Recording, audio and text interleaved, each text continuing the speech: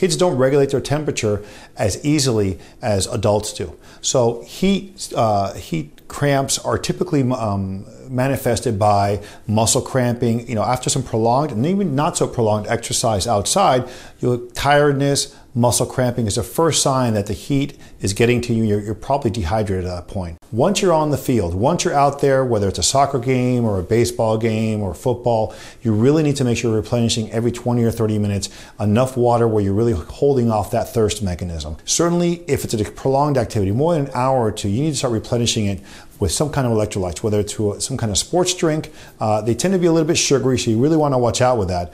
Or even some more natural uh, foods. You know, fruits are okay. Uh, there are energy bars out there that are appropriate for kids, granola bars, those kind of things will give you enough fuel and energy, that complex carbohydrate to keep you going throughout the day.